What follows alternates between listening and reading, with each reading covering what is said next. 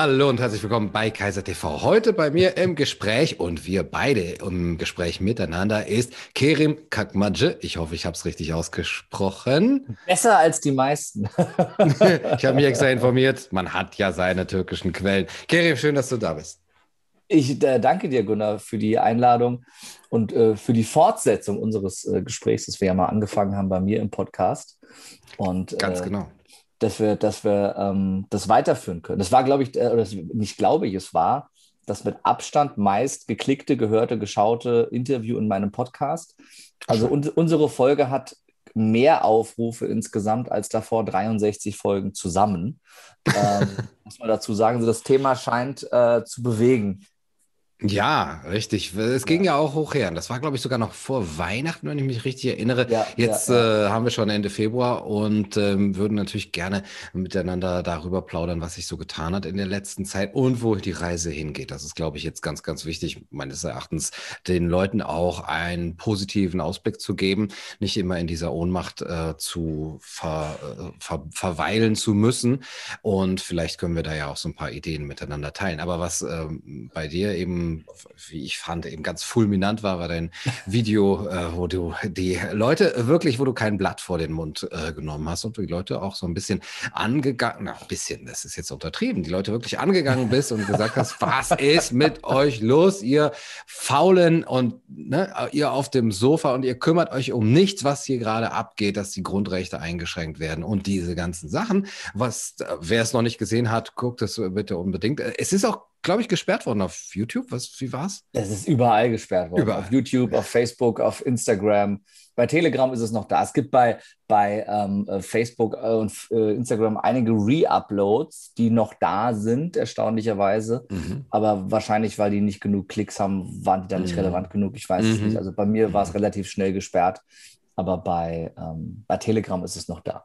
Okay, also vielleicht verlinken wir es einfach, den Telegram-Link äh, unter dieses Video.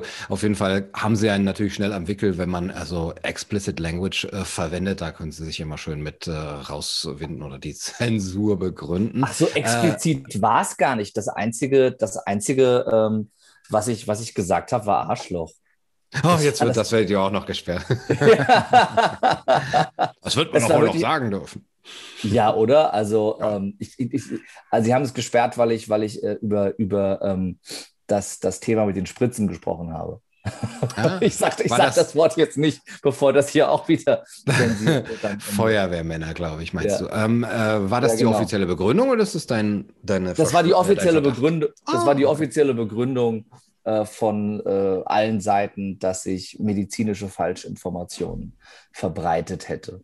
Obwohl ich gar nicht Thema. näher darauf eingegangen bin. Ich habe einfach nur gesagt, ja. dass ich dagegen bin. Aber ja. ähm, das reicht ja heutzutage schon. Ja, das ist auch schon falsch genug. Ja, Wie war denn äh, sonst generell der, die Reaktion auf? Ich meine, das war ein Rant. Ne? Du äh, bist da richtig aus dir rausgegangen und ähm, ich finde es sehr bewundernswert. Ich kann das so nicht, diese, diese Emotionalität. Ich fand es sehr überzeugend. Äh, wie war die Reaktion? Ah, ich finde, du, du machst das immer besser. Also ich habe letztens noch zu Öwin gesagt, Gunnar, Gunnar gefällt mir immer besser. Er wird langsam, langsam richtig emotional in einigen Videos. Ähm, aber es hat ja, also ist, ich glaube, es hat alles sein Für und Wider. Ähm, und wichtig ist, dass man authentisch ist und dass man das nicht macht, um ein Ziel zu erreichen, sondern dass du authentisch du selbst bist. Das bist du sehr, sehr gut und ich glaube, damit erreichst du viele Menschen.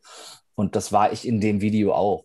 Ähm, und ich habe zu dem Zeitpunkt längere Zeit ähm, mich zurückgehalten mit Statements, weil ich, weil ich letztes Jahr sehr, sehr viel gemacht habe. Ich war seit April aktiv im Netz. Seit dem 1. Mai habe ich bestimmt auf einem Dutzend Demos gesprochen und an noch mehr teilgenommen.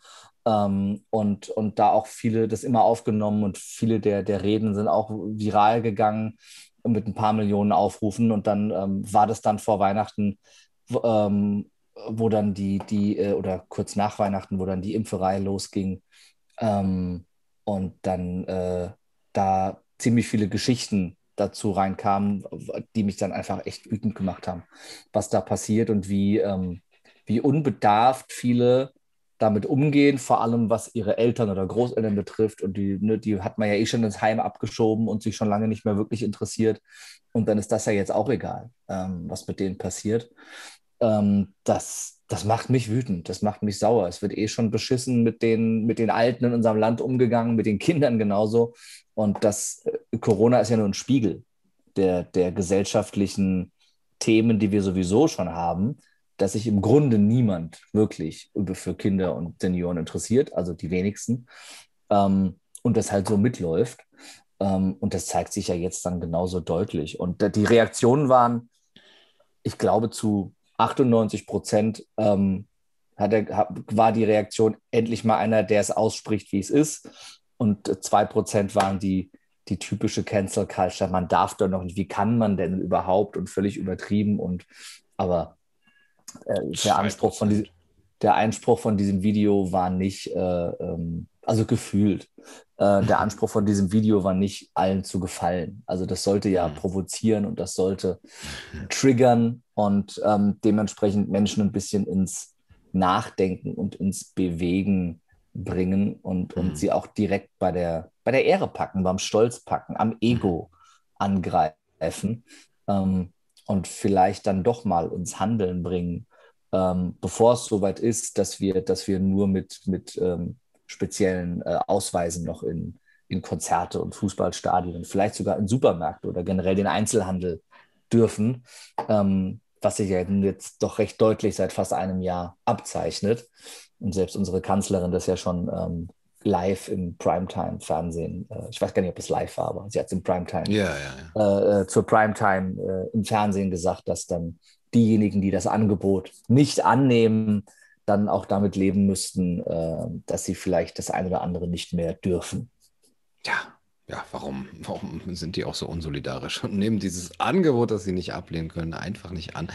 Aber was deine Herangehensweise angeht, finde ich das auch sehr gut, die Leute ja, bei der Ehre packen zu wollen glaube ich, ist auch ähm, wirklich statthaft. Man versucht ja vieles und ich glaube, es ist auch gut von verschiedenen Seiten auch ähm, versuchen zu bewegen mhm. über die Rationalität, über die Argumente und dann auch äh, über die Emotionalität. Und da geht es auch über Wut, da geht es auch tatsächlich über Angst, also ohne dass es eine Angstmache ist, aber man muss natürlich auch bestimmte Sorgen, die man hat, ja äußern ne? und auch die Sorgen von anderen aufnehmen und sagen, ja, wenn das passiert, könnte es sein, dass wir hier morgen äh, eben äh, unsere Grundrechte abhängig machen von unserem Impfstatus und äh, weiteren Dingen. Ähm, und ähm, ja, aber auch etwas, ähm, das sind ja so, so sehr basale Gefühle, ne, äh, die, die sich dann, ähm, mhm. ne, man, man, man, man ist wütend, man ist ängstlich oder man fühlt sich an der Ehre gepackt. Aber vielleicht gibt es auch positive Gefühle, die man bei den Leuten ähm, entwickeln und oder ansprechen könnte, gerade was so die Zukunft angeht, wenn du sie motivieren willst, nicht mit dem Druck, sonst passiert etwas Schlimmes mhm. äh, oder sonst bist du ein schlechter Mensch, sondern guck mal, wenn wir das jetzt machen, dann könnte, könnten wir wirklich was Tolles schaffen. Hast du da irgendwie eine Idee? Ja grundsätzlich versuche ich das in meiner Kommunikation nach außen immer lösungsorientiert zu kommunizieren. Das ist das, mein größter Kritikpunkt an den meisten Maßnahmen Kritikern und Kritiken, dass sie am Ende genauso viel, ähm, genauso viel Angst machen äh, wie die Mainstream-Medien oder die Politik, nur in die andere Richtung mhm. äh, Angst machen. Äh, und die, die Lösungs-, das Lösungsangebot mir oftmals fehlt. Ähm, und ähm, in dem Video ähm, war, es jetzt, äh, ich habe mich einfach mal ausgekotzt, glaube ich. Ähm, aber auch immer mit der klaren Handlungsaufforderung, Verantwortung zu übernehmen. Und ich glaube, die positiven Gefühle, die dahinter stecken, ist das Schutzbedürfnis unserer Alten, unserer Kinder. Und dass, dass wir die Verantwortung tragen. Also gerade für unsere Kinder, die nicht für sich selbst entscheiden können äh, und dürfen und äh, unsere Alten, die es auch nicht mehr können, äh, in größten Teilen und auch tatsächlich teilweise natürlich nicht mehr dürfen, wenn es dann irgendwelche äh, Vormundschaften gibt oder so. Ähm, und letzten Endes ist, glaube ich, da die, das, das, das Lösungsorientierte wichtig. Und ähm, meine Herangehensweise ist weniger Zahlen, Daten, Faktenlastig, wie man das halt ganz, ganz oft sieht, weil wir Menschen sind keine Zahlen, Daten, Faktentiere. Wir sind emotionale Wesen und wir treffen jede rational begründete Entscheidung immer äh, erst emotional und begründen sie uns danach rational. Mhm. Das heißt, unsere Gefühle steuern unser Handeln und zwar in jeder Situation. Und in, in vielen der Bewegungen sehe ich genau diesen, diesen Fehler in Anführungszeichen, sage ich jetzt mal, ähm, diese Misskommunikation, dass vielleicht auch mangels des Wissens darum, wie Kommunikation wirklich ankommt, dann versucht wird, Menschen mit Zahlen, Daten und Fakten zu überzeugen.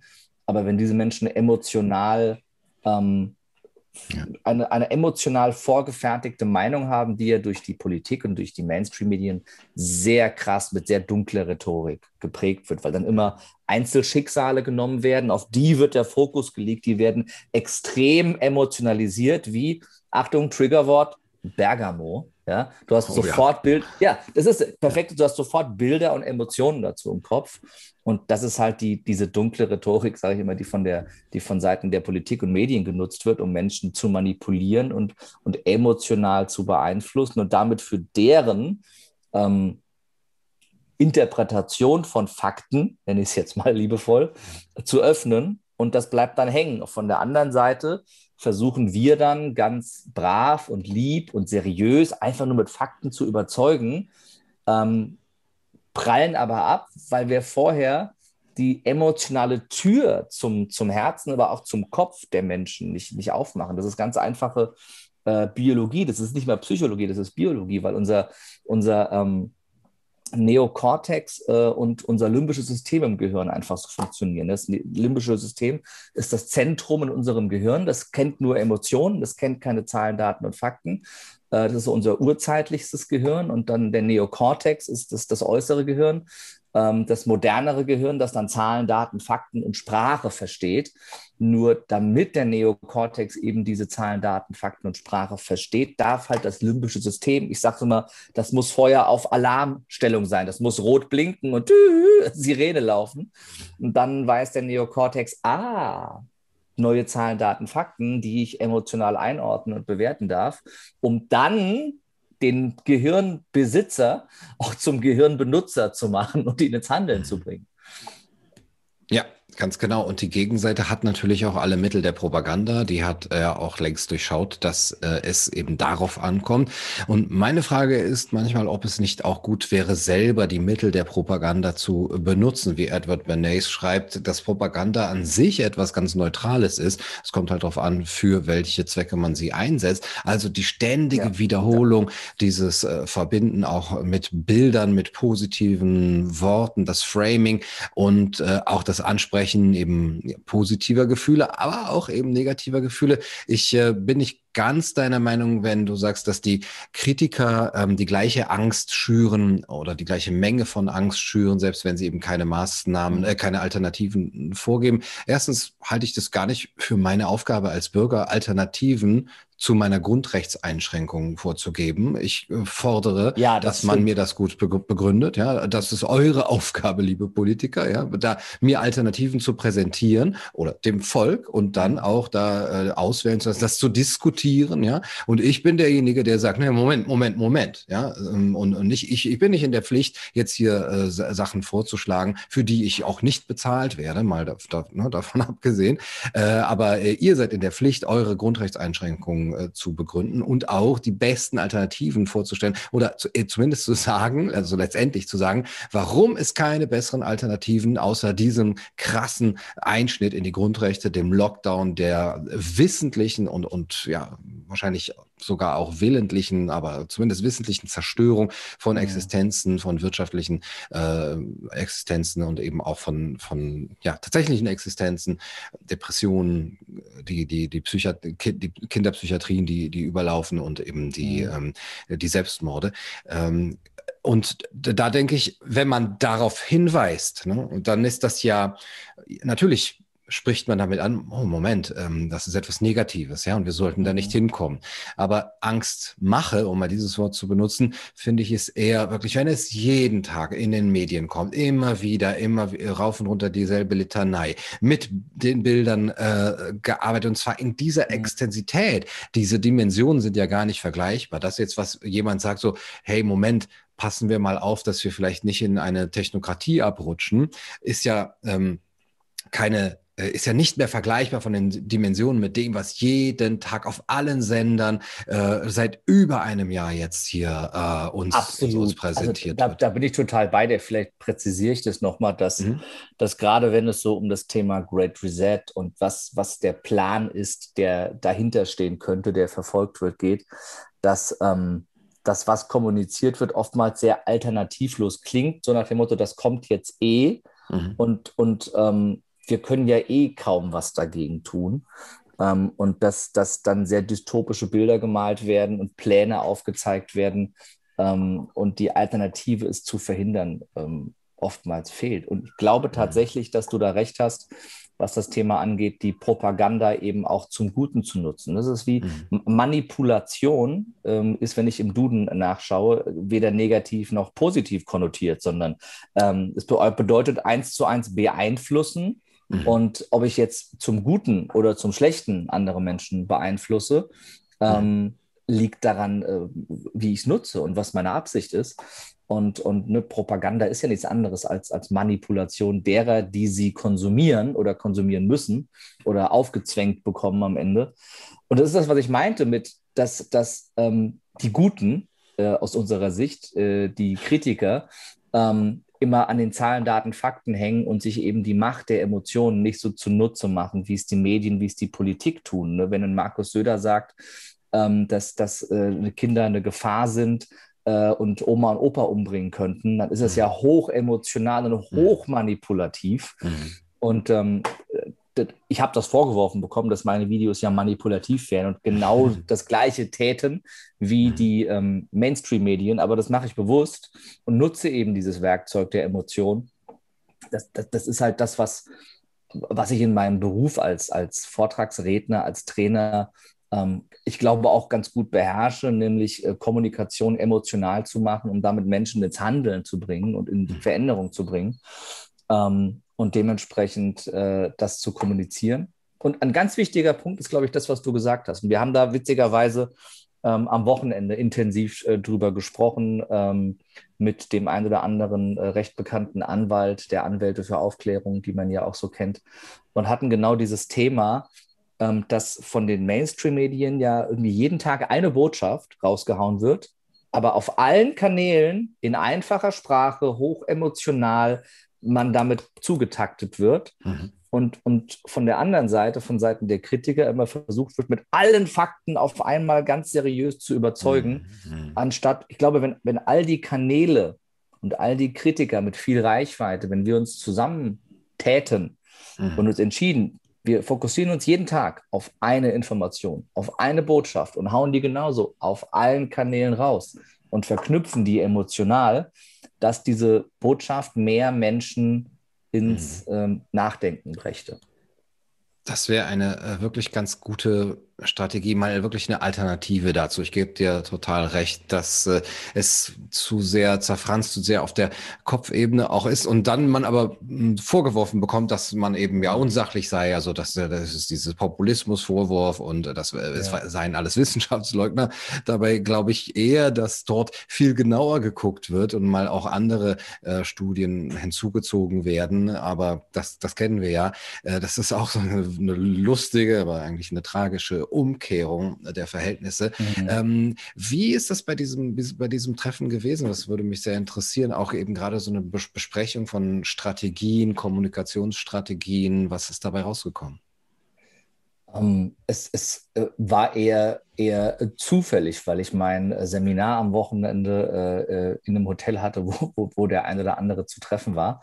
Ähm, ähm, hm. möglich, möglich, dass sie sich da auch getroffen haben. Ich möchte gar nicht so ins Detail gehen. Ähm, und äh, dann kam so, dann kam so am Abend eins zum anderen, ja. Und dann, dann hat man sich ausgetauscht, was kann man, was, was kann man besser machen, was kann man verändern und wo, wo ist die größte Herausforderung? Die sehe ich eben genau an, an dem Besprochenen. Die sehr gleichgeschaltete, hoch emotionale, aufs Einfache runtergebrochene Botschaft, die jeden Tag äh, eine andere Sau durchs Dorf der Massenmedien treibt äh, äh, ohne auch nur irgendeine äh, Studie, Statistik oder irgendetwas wirklich Fundiertes zugrunde zu legen. Und auf der anderen Seite hat man irgendwie 30 fundierte Studien, die belegen, allen voran äh, der angesehenste äh, ähm, äh, Virologe der Welt, ähm, Ioannidis, der die Studie vorgelegt hat, ähm, und belegt, ist, Lockdowns bringen nichts und auf der anderen Seite legt die Bundesregierung nicht eine einzige Studie vor, die mhm. belegt, dass sie irgendetwas bringt. Und da wird dann, da wird dann immer ähm, ähm, äh, Korrelation zu Kausalität gemacht in der Argumentation äh, in den, ähm, in den Mainstream-Medien. Und das auch immer nur auszugsweise auf kurze Zeiträume, in denen die die äh, Korrelation zur Kausalität, die man begründen will, passt. Und wenn ja, man auf größere ja, Zeiträume oder, oder Verhältnismäßigkeiten guckt, dann passt es meistens überhaupt nicht mehr zusammen. Mhm. Ähm, das wird aber nicht gefaktencheckt. Gefaktencheckt oder äh, wie man auch sagen könnte, zensiert wird ja nur alles das, was gegen diese, gegen diese Meinung läuft. Und ich glaube, dass ähm, die, die Freiheitsbewegung, die gerne die Grundrechte wiederherstellen möchte und die Kinder und Alten und generell die Menschen schützen möchte vor dem, was gerade passiert, sich viel kraftvollerer Rhetorik, viel emotionalerer Methoden und viel mehr Kooperation und ähm, gleichgeschalteterer Kommunikation bedienen dürfte und sollte, um mehr Menschen zu erreichen. Und dann erreicht man, glaube ich, zum einen die, die es ohnehin schon kritisch sehen, aber auf Angst, aus Grund, aufgrund Angst von sozialer Ausgrenzung den Mund nicht aufmachen und nicht auf die Straße gehen und auch nicht mit Freunden, Verwandten oder Arbeitskollegen darüber sprechen, weil dieser Druck ja latent ist, der da aufgebaut wird, dass Menschen sozial ausgegrenzt werden, was die größte Urangst ist, die wir, die wir Menschen haben, weil soziale Ausgrenzung immer mit dem Tod verbunden war, wenn man zurückguckt zu Zeiten, wo wir noch in Höhlen gelebt haben äh, und auch heute schon Isolation auf Dauer natürlich ähm, schädlich bis tödlich wirkt. Darum haben Menschen da Angst vor. Ähm, mehr als es heutzutage notwendig wäre in unserer modernen Gesellschaft, aber dieser, diese Prägung im Hirn ist ja da. Ähm, und äh, auf der anderen Seite würde man mit der Art und Weise der Kommunikation auch, glaube ich, die erreichen, die noch total medienkonform sind, weil man endlich mal in der Sprache mit ihnen spricht, aus der sie ja auch ihre bisherige Meinung gezogen haben. Äh, und ich glaube, dass man, dass man dadurch tatsächlich in kürzester Zeit sehr, sehr viele Menschen ins Nachdenken bringen könnte. Ja, du hast von diesem Druck gesprochen, der auf denen lastet, die Angst haben vor der Ausgrenzung. Ich glaube auch auf der anderen Seite ist dieser Druck da oder diese Angst. Was ist, wenn ich mich täusche? Und ich glaube, dass ähm, die Seite derjenigen, die ein Jahr lang die Augen verschlossen haben vor den Folgen der Maßnahmen und vor dem, was ähm, äh, neben dem, was täglich in unseren Medien gezeigt wird, was dann eben sonst noch abläuft und was durchaus eine sehr bedenkliche Entwicklung ist, die davor die Augen verschlossen haben und das Ganze auch noch befürwortet haben und weiterhin befürworten, mhm. unterstützt haben, dass die vielleicht unterbewusst ein bisschen schlechtes Gewissen haben oder sagen können, was ist denn, wenn ich mich täusche? Was habe ich denn, in welche wahnsinnige Richtung bin ich hier eigentlich gegangen?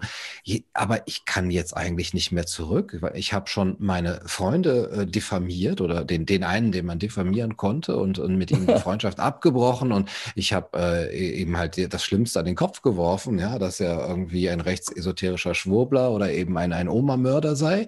Und was ist, wenn ich das zurücknehmen muss? Und äh, ich komme da gerade nicht mehr so raus. Ich glaube nicht, dass es so groß äh, bewusst ist, aber dass vielleicht so ein bisschen eine Angst da irgendwo im Hinterkopf schwebt. Und gleichzeitig ist meine, äh, äh mein Eindruck gerade, ich bin mir noch nicht sicher, das ist mein Bauchgefühl, dass gerade sehr viel auch an Druck nochmal unterschwellig auch auf, äh, auf, aufkommt, an an Bewegung, dass etwas aufbricht, dass immer mehr mhm. Artikel auch in Mainstream-Zeitungen sich äh, doch kritisch damit beschäftigen, dass das, was äh, die Impfung zum Beispiel ähm, bringt oder nicht bringt, dass das eben ein bisschen breiter jetzt auch in ihren Folgen diskutiert wird und dass auf einmal eben auch die Nebenfolgen dann groß, wie jetzt zum Beispiel von dieser Marlene Lufen da äh, diskutiert mhm. wird und die denken, ach ja, stimmt, da könnte man eigentlich auch mal dran denken, ja, nachdem mhm. man ein Jahr diejenigen, die davor schon früh gewarnt haben, diffamiert und und äh, in die rechte Ecke gestellt hat.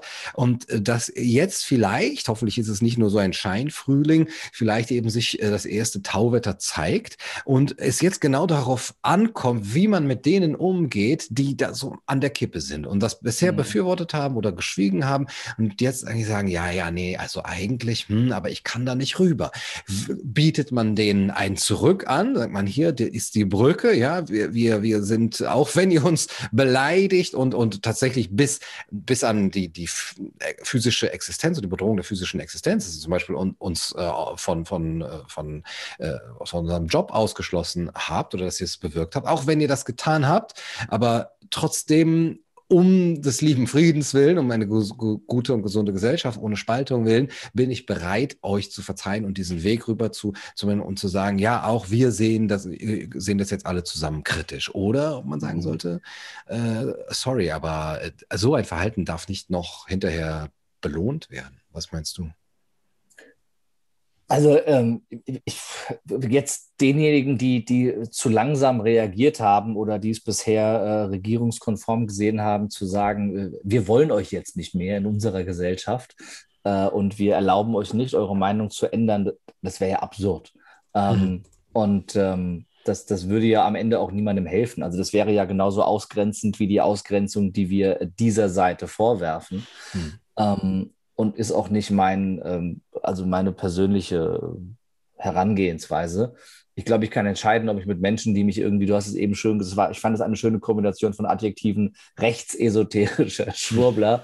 äh, also ich kann mich ja entscheiden, ob ich mit denen nochmal Best Friends werden möchte. Aber ähm, ich würde sie jetzt nicht per se ähm, ausschließen wollen oder sagen, die gehören jetzt alle eingesperrt, äh, was ja auch Unfug ist. Ähm, aber ich glaube, es darf ich glaube, die meisten lernen erst über den großen Schmerz.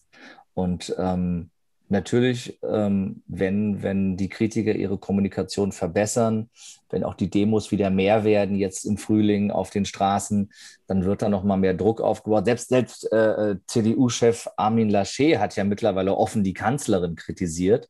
Äh, das, war, das ist ja schon groundbreaking äh, gewesen, wie ich finde, mhm. Äh, was ich da gestern gelesen habe. Ähm, aber letzten Endes auch das Video von, von ähm, Marlene Lufen, dieser Frühstücksfernsehen-Moderatorin, ähm, ging ja viral und war sie bei Stern TV, glaube ich, und noch ein paar anderen Sendungen. Aber was hat sich denn geändert jetzt danach wirklich? Also jetzt in den letzten zwei, drei Wochen, seit sie dieses Video ge gezeigt hat. Also ne, alle, alle, die die vorher schön die Fresse gehalten haben, haben geklatscht und das Video kommentiert oder vielleicht auch geteilt und gesagt, ja, das ist total wichtig.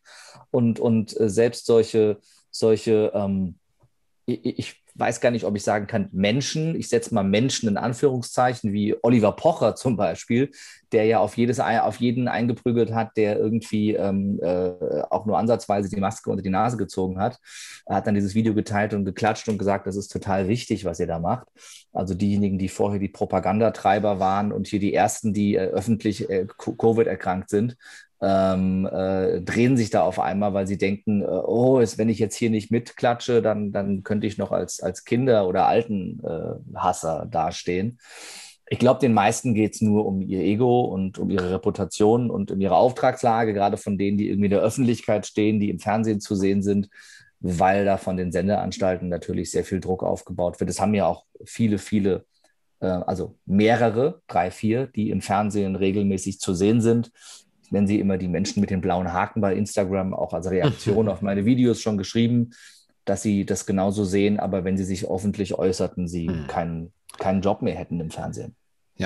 Das ist auch meine Wahrnehmung. Äh, unterschwellig äh, ist ja auch deswegen mein Eindruck so, weil man das ja mitbekommt. Ne? Und das wird einem zugeschickt und mhm. die Leute schreiben einem. Ne? Also, und ich kann das nicht äußern. Und das in ganz vielen Bereichen auch, zum Beispiel bei Künstlern und bei Schauspielern, ähm, bei Lehrern sowieso, also was heißt sowieso, aber ich kriege es von Lehrern auch mit, mhm. ähm, dass da schon viel mehr Kritik ist, als sich an der Oberfläche zeigt. Ähm, aber äh, die Frage ist, wie bringen wir das zum Aufbrechen? Ich glaube, gerade, mhm. dass solche Influencer, wie ich weiß nicht, ob du den Begriff magst, aber wie, wie wir es vielleicht sind, äh, dass wir diese, diese, Bewe diese Bewegung oder diese, diese Kritik und, und dieses Aufbegehren auch sammeln können und sagen mhm. können, was auch es ist, es geht nicht darum, dass hier, das ist keine, keine Spinnerei, ja, das ist etwas, was eigentlich in die Mitte der Gesellschaft gehört und ähm, es, äh, es muss halt gesagt werden können und ja deswegen ist es eigentlich wichtig, dass nicht immer nur einer aufsteht und, und jetzt äh, sich vielleicht auch mal dann daneben benimmt oder mal vielleicht auch äh, Sachen äußert, die nicht unbedingt dazu passen oder die vielleicht wirklich spinnert sind, sondern dass wirklich alle diejenigen, die, die ein berechtigtes Interesse daran haben, das kritisch zu sehen, dass sie sich auch eben mit einer Stimme einmal melden. Und vielleicht kann man das sogar hinbekommen, diese Menschen zu versammeln und so als, als, äh, ähm, als Sprachrohr dann eben fungieren zu lassen.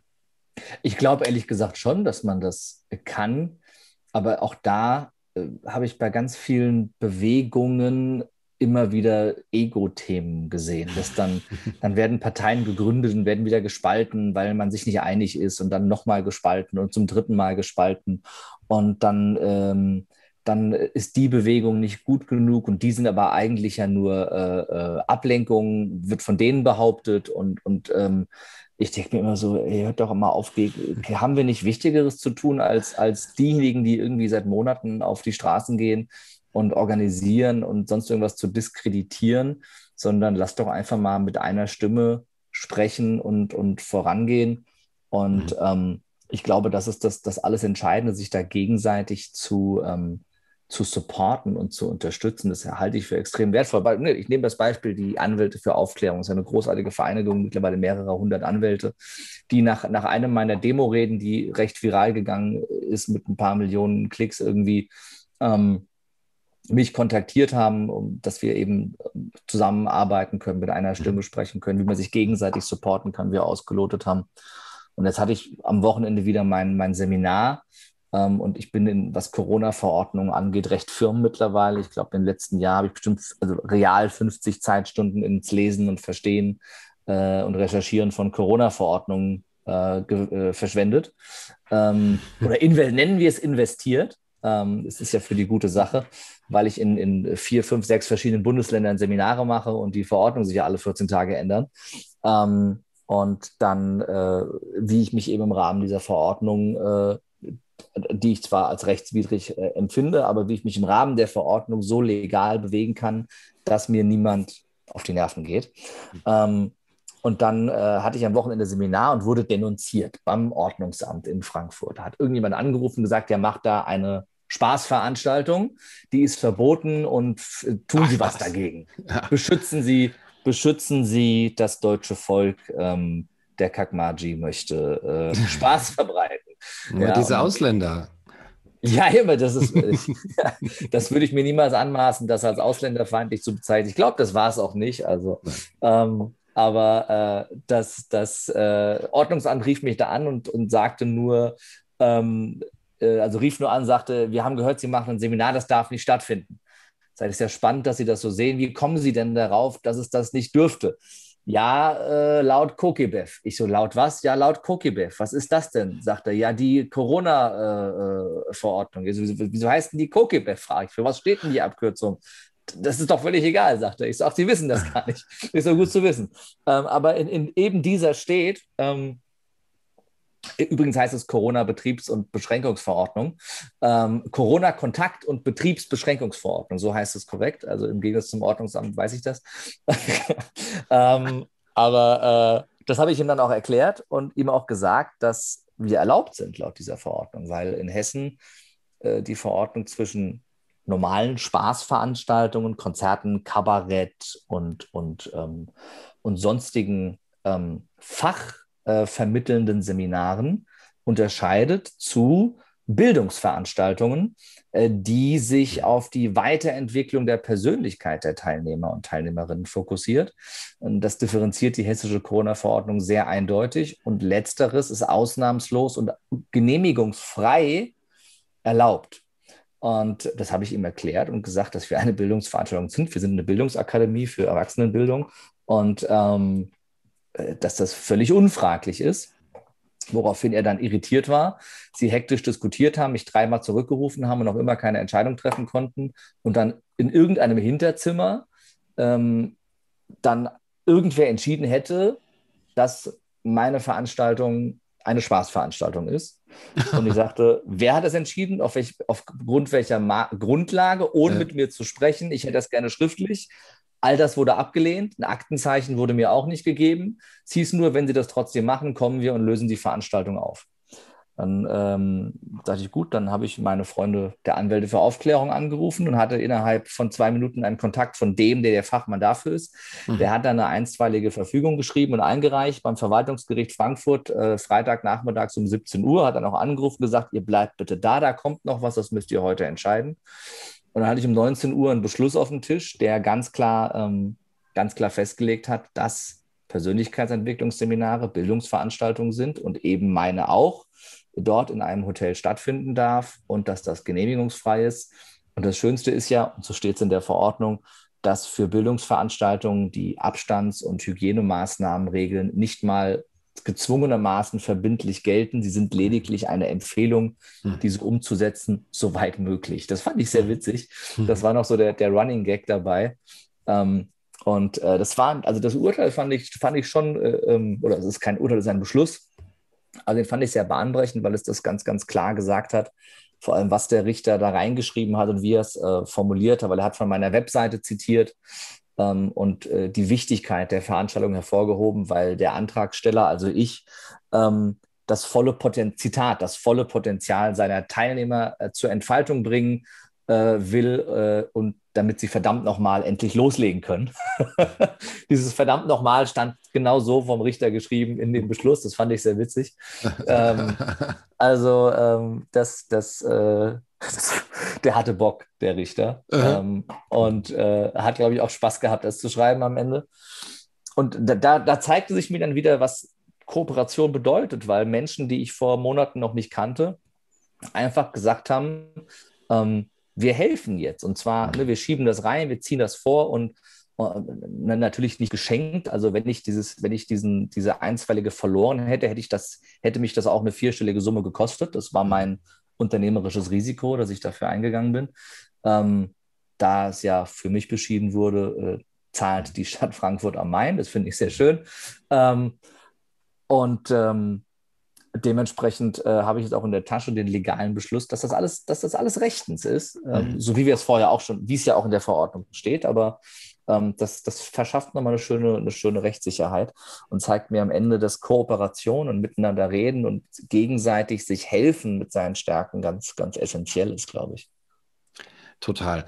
Ich finde es natürlich sehr schön, dass das so ausgegangen ist und äh, freue mich da auch für dich. Ich finde es ein bisschen schade, selbst wenn man halt weiß, okay, jetzt muss die Gegenseite das bezahlen, aber die bezahlen sie auch von unseren Steuergeldern. Ne? Das könnte man auch alles äh, ähm, besser haben, beziehungsweise man könnte eigentlich auch seine Energie mit viel, viel sinnvolleren Dingen. Absolut. Äh, absolut. Keiner aber hat Lust, so eine, ja. ja, so eine Coco Beff dazu lesen. Aber es, es, es, es zeigt ja aber auch wieder, dass natürlich passiert gerade viel Unrecht, dass aber, wenn man sich dagegen wehrt und auch die Gerichte bemüht, ähm, dass diese Gerichte das auch sehen und, und, und anerkennen. Mhm. Und das machen halt viel zu wenige, die das mhm. scheuen mhm. und, und ähm, dann halt mitmachen. Weil meistens die Gerichte ähm, das, also sie, sie kippen ja andauernd all die Beschlüsse und Ausgangsbeschränkungen und äh, Maskenpflicht ja. in der Fußgängerzone und hast du nicht gesehen.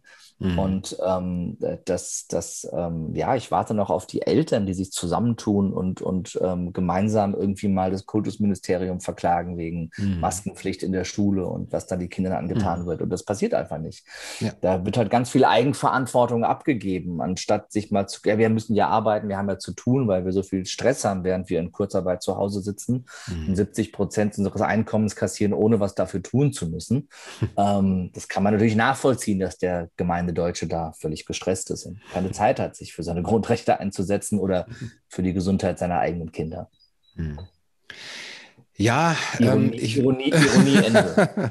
ja. ja. auf YouTube ja. versteht man es ja noch äh, einigermaßen. Ähm, was ich, äh, also bei im Internet ist ja immer ein bisschen schwierig, aber ähm, ich würde mir natürlich auch wünschen, dass äh, es äh, nicht immer so ist, dass wir darum bitten müssen, dass unsere Grundrechte ne, und dass, dass wir auch ähm, jetzt klagen müssen gegen so etwas. Wir werden also dauernd beschossen mit allen möglichen Maßnahmen, Verordnungen und wir werden denunziert und angezeigt. Und wir müssen dann erstmal den den Weg des Gerichts gehen und zu sagen, Moment, das ist, das ist nicht grundgerechtskonform mhm. und so weiter. Auch zum, das Gleiche bei der Zensur.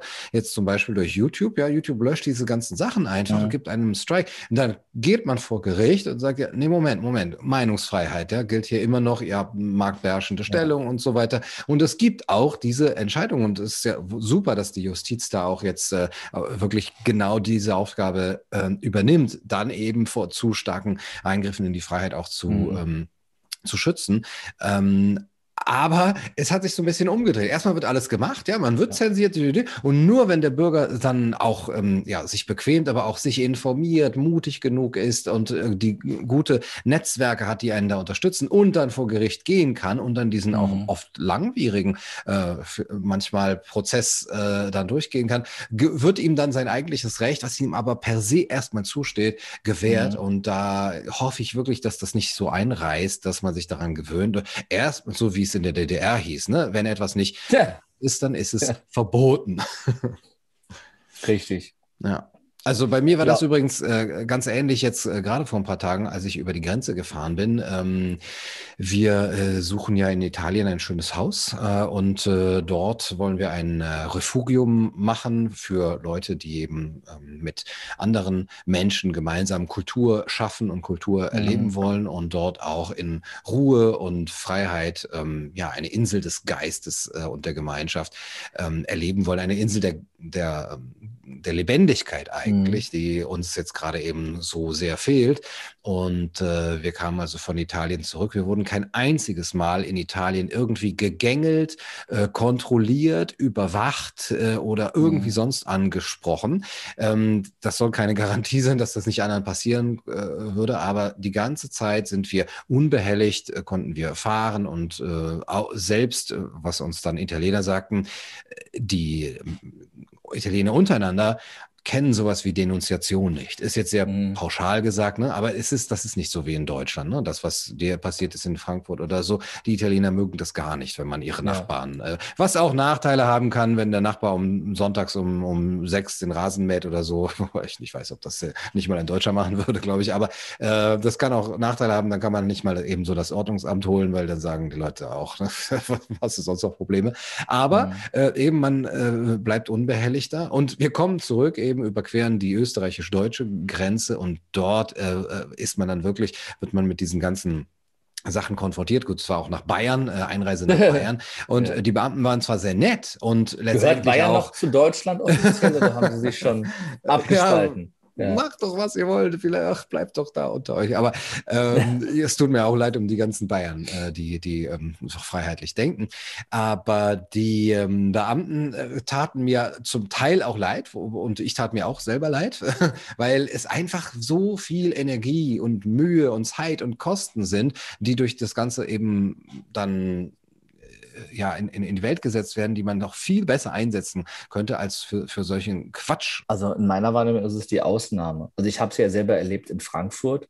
Wir sind dann ähm, in weiser Voraussicht haben wir die, die Event-Location gewechselt, weil ähm, das, äh, also bei der alten Location stand dann um Viertel von neun, um zehn sollte es losgehen, um Viertel von neun die Polizei und hat uns gesucht.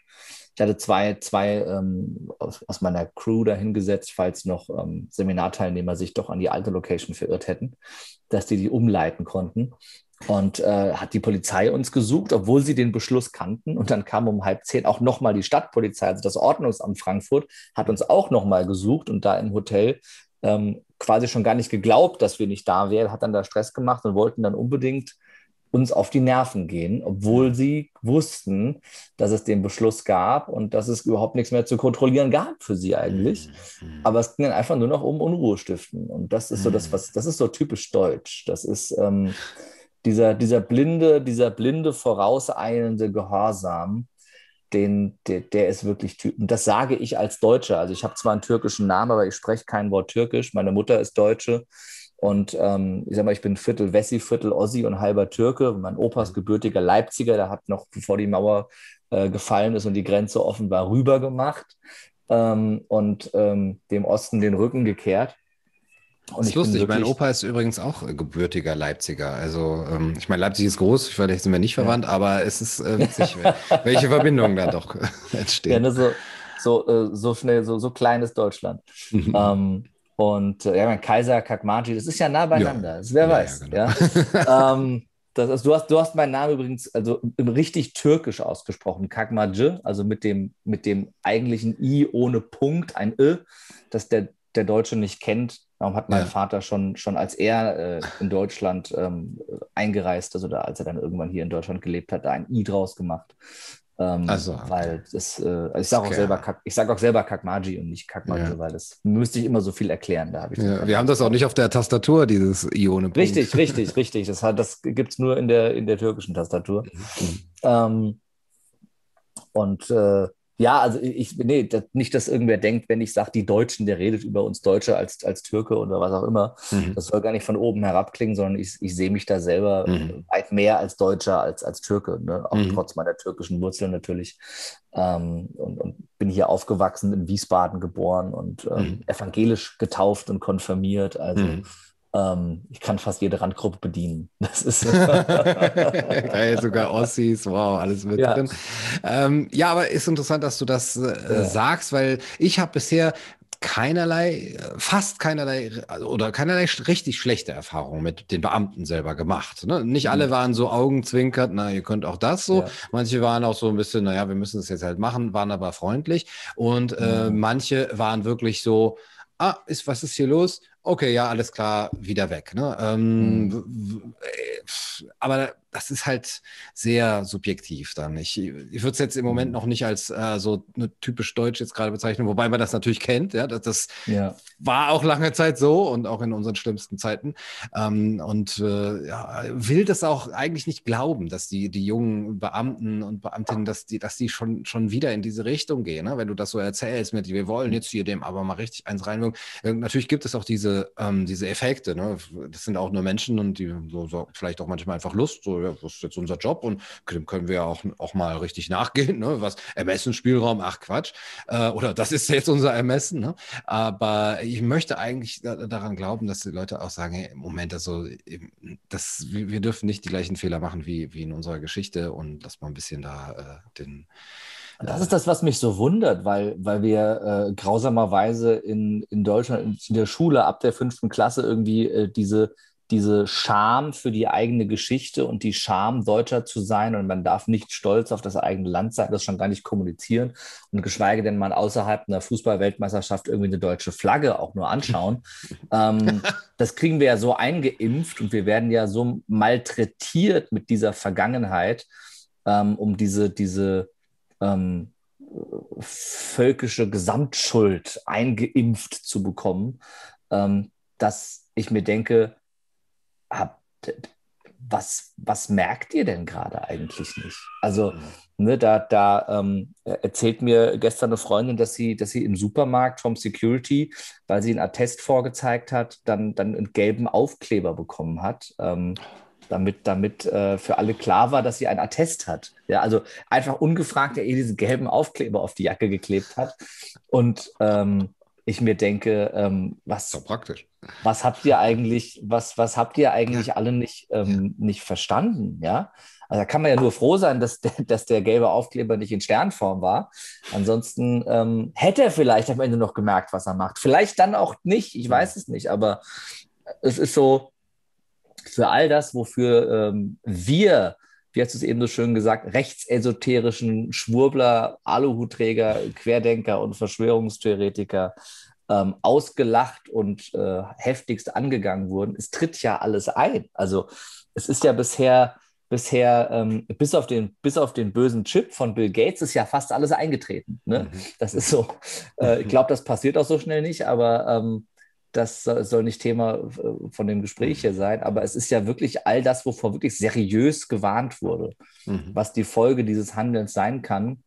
passiert ja gerade. Und mhm. ähm, mhm. ich, ich glaube, darum werden auch die, die Stimmen werden leiser, mhm. weil ähm, ein ich hab's dir ja gleich gesagt, wäre, glaube ich, mittlerweile eine maßlose Untertreibung.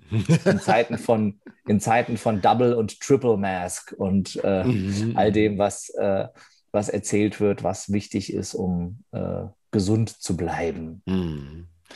Ja, Clemens Awey, der Biologe, der sich sehr stark mit Impfungen und jetzt eben vor allem mit der Corona-Impfung auseinandersetzt, der hat geschrieben, dass man, dass er vor einem halben Jahr oder vor einem Jahr eben schon gesagt hat, diese Art der Impfung ähm, kann die und die Schäden hervorrufen, ist in dieser Hinsicht gefährlich. Und jetzt, äh, als diese AstraZeneca-Geschichte war und auch eben jetzt sehr viele ähm, Fälle auftreten, wo Schädigungen, Erkrankungen oder sogar Tode mit äh, den Impfungen in Zusammenhang gebracht werden. schreibt, ich glaube sogar die Süddeutsche Zeitung, der Impfstoff äh, ist ähm, gefährlicher als gedacht. Und er schreibt dann immer, als, als gedacht von wem? Ich meine, ich habe das gedacht, ja, und ich habe es auch ja. laut gesagt. Und ein, viele haben das gesagt. Ihr habt diese Leute einfach nicht nur nicht gehört, sondern ihr habt sie auch diffamiert. Und sich jetzt hinzustellen und sagen, oh, da haben, das hat niemand kommen sehen, ist erstens heuchlerisch und zweitens wirklich perfide, weil ich jetzt das Gefühl habe, dass all das, was gesagt wurde, jetzt übernommen wird, so klammheimlich, das wär, da werden sich Versatzstücke genommen und sagen, mhm. naja, man muss ja auch aufpassen, das und das. Und ah ja, gut, dass die Presse, ähm, dass die Presse wirklich ausgewogen ist, ähm, was vielleicht sogar noch auch gut sein könnte. Ja, man, man will natürlich vielleicht immer hinterher dastehen als, ja, ich habe es euch doch gesagt und endlich seht ihr es, ne? ich hatte recht und man kriegt dann ein Denkmal und wird auf den Sockel gehoben oder sowas. Aber äh, das, das ist ja nur das Egoistische. Man, man kann ja dann sagen, okay, dann haben sie vielleicht die, diejenigen, die davor gewarnt haben, diffamiert, haben aber wenigstens die Argumente jetzt übernommen, ohne das zuzugeben oder ohne sich zu entschuldigen. Wäre ja vielleicht ja. nett, ne? aber okay, geschenkt. Ja? Dann übernehmt wenigstens die Argumente und gebt ihnen einen Raum und lasst, äh, lasst und diskutiert das untereinander und mhm. äh, wir sterben den Tod von oder so. ich, glaube, ich glaube, das größte Problem dabei ist, dass das, dass das so nie passieren wird, weil die Medien es ja immer, immer so drehen, dass ein so klarer Fehler niemals eingestanden wird. Die Medien ja. Ich, ich, ich traue mich nicht mal zu sagen, sind schon lange keine vierte Macht mehr im Staat. Ich glaube, sie waren es nie. Die Medien waren schon immer Spielball der Politik und haben, haben die Meinung der Menschen maßgeblich bestimmt. Und ich, ich glaube auch immer, dass es der Fehler ist, irgendwie mit Demos dann vor Landtagen oder dem Bundestag oder was zu stehen. Du müsstest bei, bei der Bildzeitung und bei der äh, Frankfurter Allgemeine und bei der Welt und ne, bei, bei, bei Springer und bei Funke Medien äh, vor den Redaktionen stehen. Und da musst du demonstrieren. Ich glaube, da musst du ansetzen, dass ähm, da endlich mal ähm, diejenigen, die vernünftige Berichterstattung verhindern, rausfliegen. Weil es wird ja völlig unkritisch von allem berichtet. Da wird von, von Zero-Covid-Strategien und davon Deutschland in grüne und rote Zonen einzuteilen, berichtet, ohne auch nur ein kritisches Wort. Da wird von Israel berichtet, wo ab, ab Sonntag zwei Klassengesellschaft herrscht, wo dann alle Maßnahmen aufgehoben werden, außer für die, die nicht geimpft sind. Und wer keinen grünen Impfschein hat, für den gelten die Maßnahmen weiter. Das wird, wird berichtet. Ähm, schon fast so, als ob es gut wäre. Ne? Also schon, schon mehr als neutral und in keiner Weise irgendwie kritisch hinterfragt in den Medien. Ähm, und wenn dann äh, Impfschäden werden sowieso äh, runtergespielt oder Fakten gecheckt, das gibt es, ist ja alles falsch. Und wenn dann mal irgendwas un, also unausweichlich an die Öffentlichkeit gedrungen ist, dann wird es runtergespielt und dann hat natürlich der, der, die Tode und die Nebenwirkungen sind dann mit der Impfung, aber nicht von der Impfung. Ja. Äh, ne? Also da wird dann auf das Alter und auf Vorerkrankungen verwiesen, während ja jeder, der ähm, mit Corona, also in, in Korrelation mit Corona gestorben ist, automatisch in Kausalität mit Corona gesetzt wird. Ja. Ja. Ähm, aber diese äh, Kausalität bei der Impfung eine reine Korrelation natürlich ist in der Wahrnehmung. Und die breite Öffentlichkeit, die das liest ähm, oder hört, die nimmt das dann so an. Also das ist, ich glaube, und das, das schreiben mir auch ganz, ganz viele von, von meinen Followern immer wieder, so was wie, ich verfolge dich jetzt seit einem Dreivierteljahr und ich bin mir mittlerweile bei fast allem, was du da so teilst, sicher, dass das näher an der Wahrheit ist, als das, was uns so in den Medien gesagt wird. ich kann es aber nicht annehmen, weil es würde meine Lebensrealität zerstören, ja. dass ich komplett in einer Lüge gelebt habe. Das kam von einer Krankenschwester, ähm, dass das alles eine Lüge war, was uns erzählt wird. Ja. Und das ist, glaube ich, der größte Struggle der Menschen, dieses, dass es, und das ist psychologisch ja total nachvollziehbar und menschlich, ja. dass dieses Unwohlsein dessen, dass die Realität, die uns Sicherheit gegeben hat, auf einmal nicht mehr real ist. Hm. Und dass die, die surreale Verschwörungstheorie ähm, näher an der eigentlichen Realität ist, als das, was wir für real gehalten haben. Mhm. Ne, das ist ja fast schon wie bei Matrix, hier rote und blaue Pille. Mhm. Ähm, und dass, dass das Menschen Angst macht und sie dann lieber die blaue Pille nehmen und sagen, ach, ich will das einfach, einfach gar nicht alles wissen. Und es wird schon richtig sein, was die Politik entscheidet. Die will uns ja nichts Schlechtes. Ne? Das ist, ähm, das ist, die will uns ja nichts Schlechtes, wenn die, wenn die durchwinkt, dass, dass Monsanto und Bayer mit, mit Glyphosat unser Gemüse ähm, vergiften, obwohl das nachweislich krebserregend ist. Die will uns nichts Böses. Die haben nicht mitbekommen, dass Zuckerersatzstoffe wie, ähm, wie verschiedenste Süßungsmittel ähm, hochgradiger krebserregend sind als der Zucker selbst. Die haben auch nicht mitbekommen, dass, dass Zucker Ursache Nummer eins für Krebs ist und haben einfach vergessen, Höchstwerte für für, für raffinierten Zucker in Lebensmitteln zu definieren. Stattdessen kümmern sie sich um Nahrungsergänzungsmittel, die Menschen nachweislich gesünder machen und haben halt gedacht, dass die krank machen. Und dann versuchen sie das zu limitieren und diskreditieren den, den Berufsstand des Heilpraktikers, ver mhm. vermutlich, weil das alles rechtsesoterische Schwurbler sind. Ähm, und, und natürlich ist es nur für die Gesundheit unserer Schüler, dass sie eine Maske tragen müssen, zwar den ganzen Tag, auch wenn sie am Schulkiosk anstehen, um sich eine Cola und einen Snickers zu kaufen. Das ist alles für unsere Gesundheit und das macht niemand mit böser Absicht oder weil da mächtige Lobbys dahinter stehen, die, ähm, die dann irgendwelche Goodies sponsern oder vielleicht Koffer mit Geld hin und her schieben oder Jens Spahn dabei helfen, teurere Wohnungen oder Häuser zu kaufen. Das ist natürlich alles Verschwörungstheorie. Ja. Und manchmal bin ich Ironie off, ich sag's nochmal bitte. ja, gut, immer. Um. Ähm. gut, wenn du es dazu sagst. Manchmal bin ich mir nicht sicher, ob es nicht äh, weniger schlimm wäre, wenn sie es böse mit uns meinten, als wenn, wenn sie es wirklich äh, einfach nur äh, unser Bestes wollen. Ich hätte das eigentlich auch ungerne in die Hände von derart inkompetenten Menschen gelegt, dass sie unser Bestes äh, wollen. So inkompetent kann ja niemand sein. Das geht ja gar nicht. ja, sollte man denken. Aber vielleicht bringt das einfach auch eben diese, dieses System oder die, ähm, die, die, die Dimension mit sich, ja, in, in dieser, in der Größe von solchen Massengesellschaften und Massendemokratien, dass dann bestimmte einzelne Maßnahmen ja. nicht mehr auf ihre Folgen hinterfragt werden können. Aber trotzdem, genau das, was du sagst, wie kann man so blind sein und jetzt zum Beispiel auch Kindern FFP2-Masken zumindest erstmal anempfehlen. Natürlich wird es in ein paar Wochen sein, dass sie verpflichtend sein werden. Äh, es werden jetzt eben schon FFP2-Masken an den Schulen verteilt und äh, man wird schief angeguckt, wenn man die nicht trägt. Wie kann man so blind sein, dass das, was den Kindern so schon Probleme bereitet hat, äh, das jetzt wirklich fast doppelt so schwer ist, da durchzuatmen, äh, dass das nicht noch mehr Probleme eben den, den, den Kindern mit einem kleineren Lungenvolumen bereiten wird. Ähm, da ist eben meines Erachtens auch nicht mehr das gerechtfertigt zu sagen, sie wussten ja noch nicht, was sie tun. Das kann jeder wissen. Das, dafür gibt es ja auch arbeitsrechtliche Schutzmaßnahmen, die, die da gelten, die Tragezeiten begrenzen, die, die äh, ärztliche Untersuchungen die Untersuchung voraussetzen, um so ein Ding überhaupt aufzusetzen. Ja, du bekommst ähm, eine Strafe, wenn du das länger als Parkettleger zum Beispiel, wenn du das Ding ja. länger als 30 Minuten trägst. Also, aber Kinder müssen. das, das, ist, ähm, Aber auch da, ne, das, das Problem sind ja die Eltern, die sich nicht zusammentun und dagegen äh, vorgehen. Also das, ja. ähm, ich bin froh, dass, dass mein Sohn erst anderthalb ist und nicht schulpflichtig. Ähm, sonst, sonst, äh, äh ja, also auf der anderen Seite ist es schade, weil dann wäre mal jemand da, der dem Schulleiter die Tür eintritt und ihn fragt, ob er eigentlich noch alle Latten am Zaun hat ähm, und mal den Standpunkt klar macht. Und ich glaube, das fehlt. Also, dass mhm. sich da mal zehn Väter hinstellen und sagen, mein Freund, wir führen jetzt mal ein ernsthaftes Gespräch. Mhm. Und ähm, dann äh, läuft das auch jetzt so, wie wir das möchten für unsere Kinder.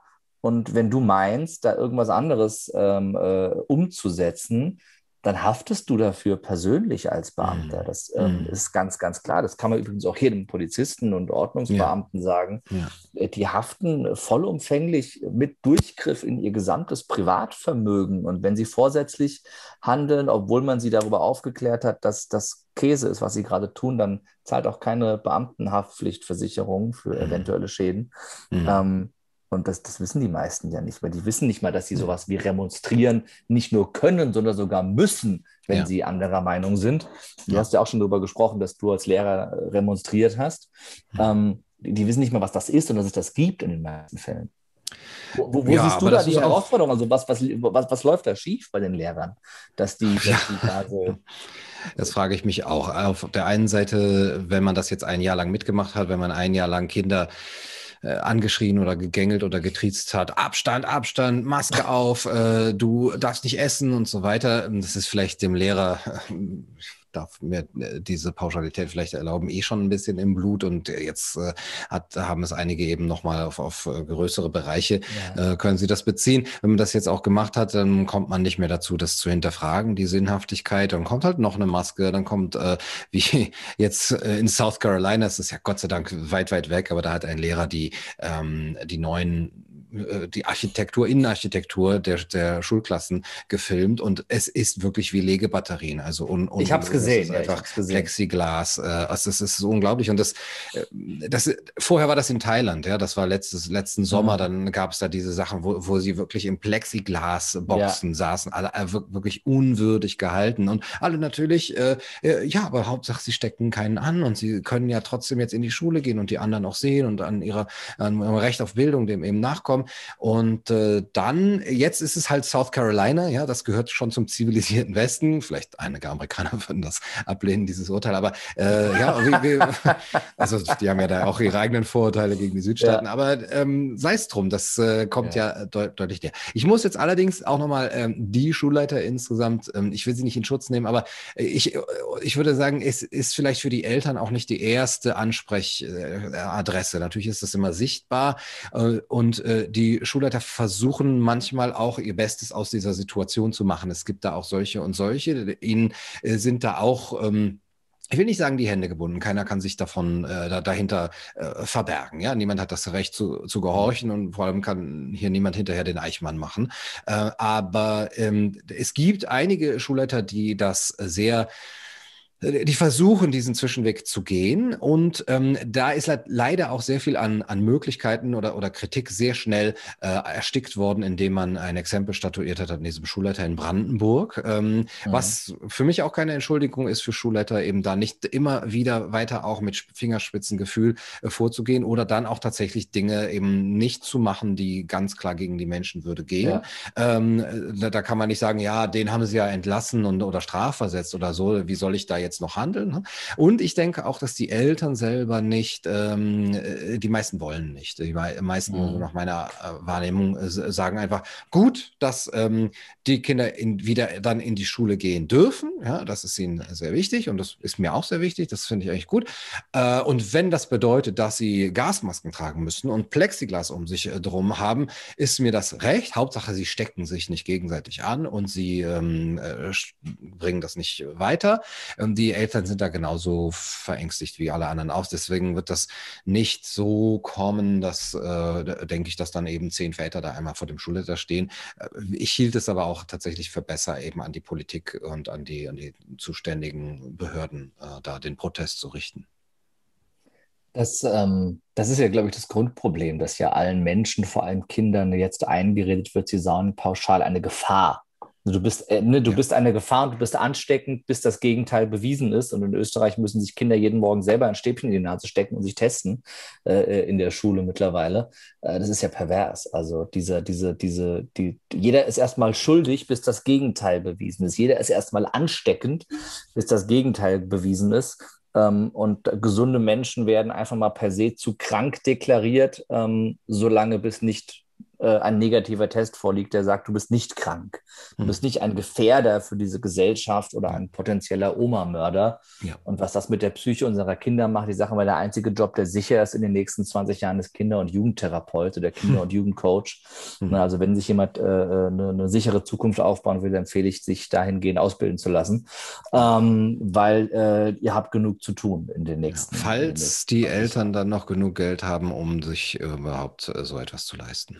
Das ist ja, selbstverständlich wird das, das, wird das äh, Grundeinkommen dafür ausreichen. Sehr schön, haben wir auch so eine gewisse Umverteilung.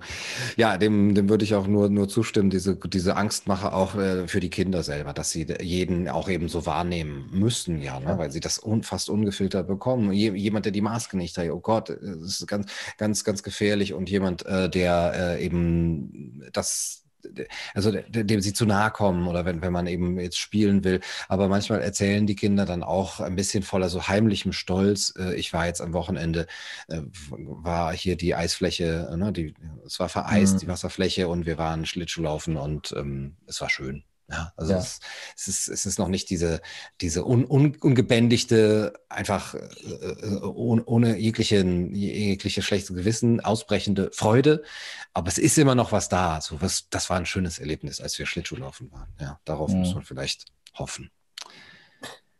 Ja, okay. also ich, ich, ich, äh, ich hoffe auf mehr Menschen, die den Mund aufmachen und die Verantwortung übernehmen für sich selbst als allererstes Mal ähm, und für ihre eigene Zukunft und für ihre Grundrechte und sich nicht ähm, äh, blind in die Hände der Politik begeben und die Verantwortung übernehmen für ihre Kinder und für ihre Eltern und Großeltern, die das nicht selber können.